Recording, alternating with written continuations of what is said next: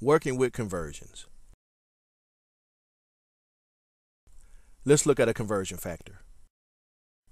We have one yard equal to three feet.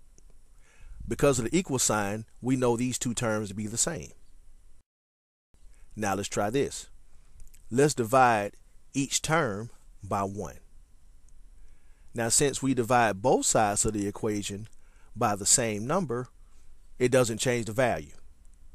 Let's try this. Let's take 1 yard, put it over 3 feet, and take 3 feet and put it over 1 yard. It's the same.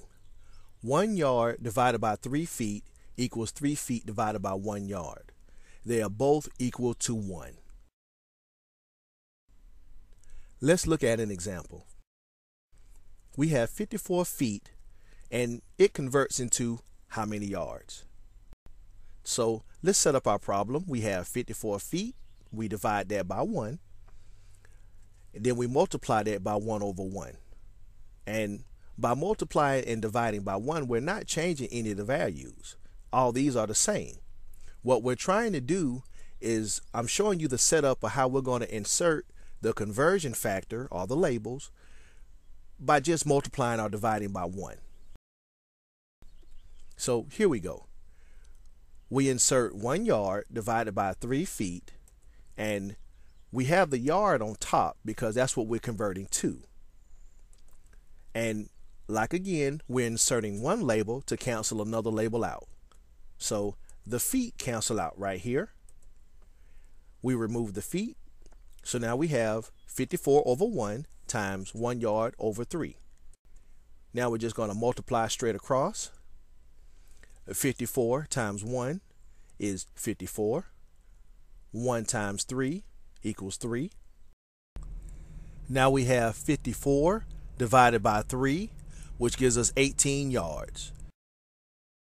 So 54 feet equals 18 yards. Now we're going to be converting yards to feet. Let's look at a conversion factor. Here we have 1 yard over 3 feet equals 3 feet over 1 yard. We're going to be using the uh, conversion ratio that has a 3 feet over 1 yard because we're converting to feet. Let's look at an example.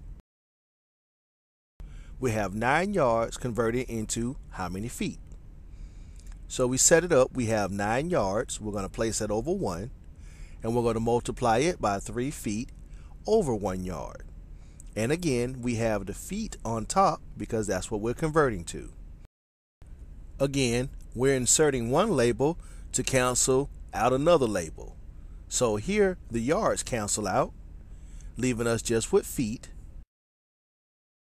Now we multiply straight across. 9 times 3 is 27. 1 times 1 is just 1. And here we have 27 divided by 1, which is just 27 feet. So 9 yards equals 27 feet. That's the end of our video.